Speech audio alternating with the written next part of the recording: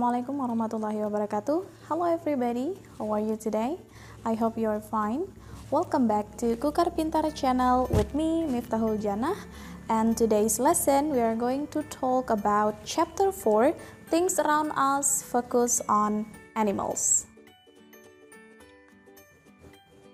Today's lesson based on Cambridge English YouTube channel and Government Book Revision 2017.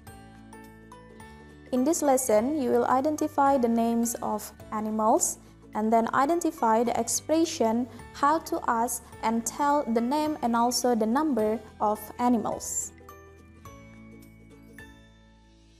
Alright student, do you ever go to the zoo? What can you see at the zoo?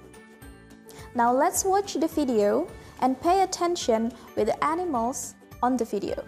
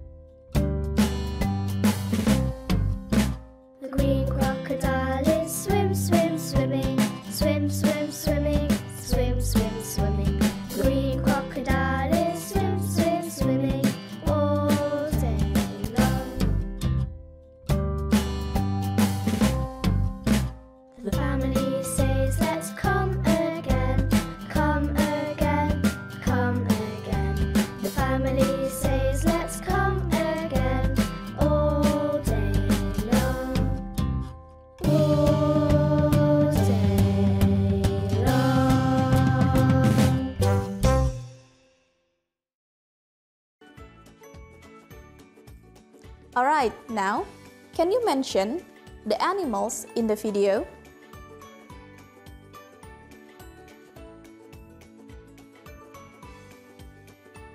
Good. Now listen and repeat. Sheep. Sheep. Lizard. Lizard. Goat goat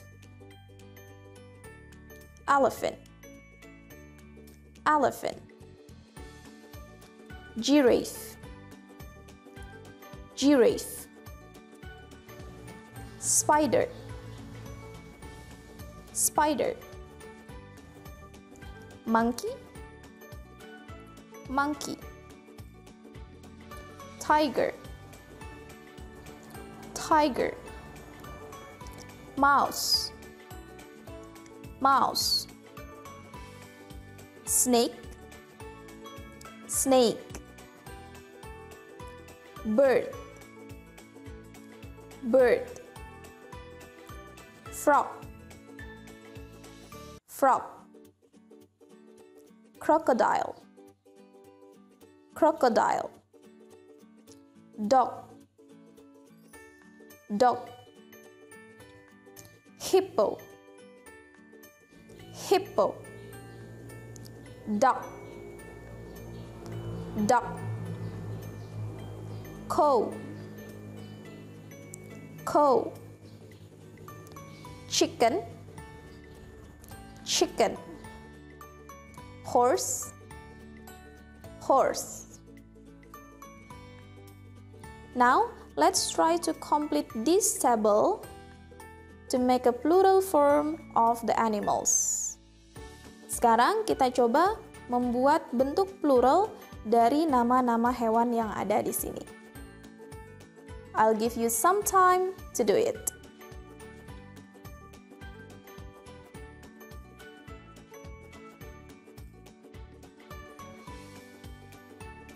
Have you finished? Let's check the answer together.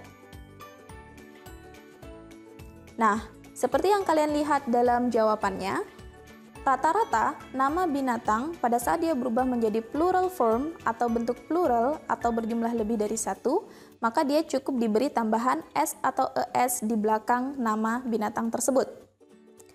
The exception, pengecualian, bagi binatang mouse.